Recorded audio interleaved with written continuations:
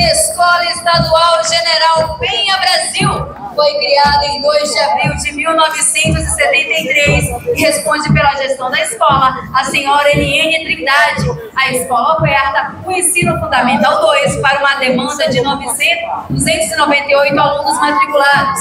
Essa unidade de ensino desenvolve os seguintes projetos clube virtual de leitura, coral literário, feira de ciências e entre outros.